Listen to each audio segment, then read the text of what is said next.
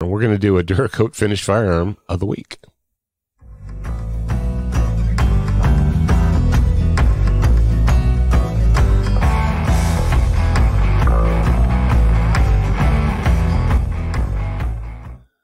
Oh yeah, and I'm not going to go too far into this one, but I was having a, a conversation with myself as I was writing here recently, and I was talking about I was writing about uh, color contrast and standing out. And we like to color our guns. You know, sometimes you camouflage them or whatever. But when it comes to handguns, rifles, or shotguns, if you have, if you're using iron sights and if you're not using a, a scope, one of the things you need to make sure you're doing is that you have a sight that stands out, that is a contrast from what you've got. Now, a long time ago, many, many moons ago, what the standard practice for firearms manufacturers was that they would coat the iron sights in the same material that they coated the gun with. So if the gun was blue steel, then the front sight was a blue steel and it and it was the same exact color as the slide or very small blade. And yeah, you know. You or if it was stainless, same thing. It was stainless. Okay. I was just going to shave those things off. I don't need yeah, it. Anyway. it was nickel or whatever. Get in the way. But the the best option for you, regardless of what color the gun is, is to make sure that your aiming device, whether it's a brass bead or whether it's a, a blade or what whatever, stands out and it contrasts from that. You might say, duh, I know this. Now I say, you know, when you look at me, when you guys look at me and you're like, duh, I know this, Paul, you don't need to say it. There are people out there that need for it to be said. Okay. Trust me on this one. There are people out there that need for it to be said. Uh, so I just said it. And I said it. I meant it. I'm here to represent it. So, um, because you and the which sight's the most important one, Jarrad? The front sight. The front one. That's right. People spend all kinds of time and attention and mental energy on the rear sight. Like that's not where your mental energy and attention needs to be. It needs to be on the front one. I don't need a front sight. That's the important one. That's right. The front sight just that? gets in the way. That's right. Like the rear sight. It's it's it's like years. I can't even think of anything dumb to say. years years ago when someone wrote a they, they opined an a an RIA. You guys know what an RIA is, right? A random internet a hole. Jumped in and said, "I hate those XS sights because the big dot is distracting." It's supposed to be. Like, I'm sorry.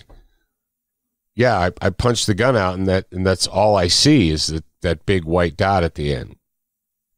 I can see how that would be a distraction for you. Would you say that distracting. you have a small amount or a large amount of knowledge about handguns and handgun sights? Would I say that I have a small amount or a large amount? Yes. I would say it's probably a fairly large amount of information. So, if you had the opportunity to build your own sight, would you do that? I would. I would. Oh, As a matter of fact, as a matter of fact, I did that. did you really? Yes, I No. partnered with the guys at Night Fision. Night Fision, F like nuclear fission. Oh, Uh, that's right. If you came- go, I'm going to go to studentofthegun.com slash sites right now Oh, it's slash sites. slash sites Ah, and accurate sites. Everything you need to know. We've got how they work. We've got the sight height, the, the rear sight design.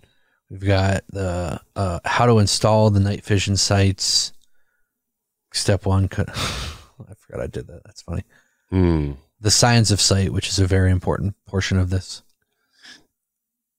cut a hole in the box. Really, you did that. What? Yeah, step one. So yeah, uh, yeah. We we've we've spent a lot of time trying to educate people uh, as to uh, how these things work. Because if you know what how they work, if you know how it works, then it's easy to to not be distracted by like bologna sausage. You know, the bologna sausage and that comes out. Oh, so there we go. But contrast, contrast is your friend when it comes to sights. And regardless of the the color or the or whatever of your gun, you want your uh, sights to contrast. You want them to stick out.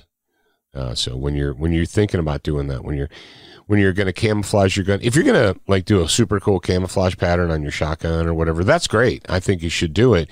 Just don't camouflage your sights. really? Yeah, really. If you want it to match, you just make your sights orange and your gun camo. That's right. That's right. That's right. You make your, your gun orange and your sights camo. You could do that. No, don't. do well, I mean, if you, do whatever you want, man, you're you're you're a grown adult. Do whatever you want. Ah, if you're looking for a shotgun, looking for a shotgun. See, I'm looking for a shotgun. I'm looking for a shotgun that I can mount a bayonet on.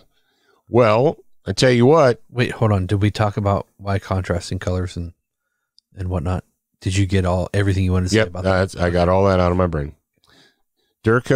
DuracoatUniversity.com. Actually, you go to studentofthegun.com slash Duracoat and you can learn how to be a pro. You should learn how to be a pro.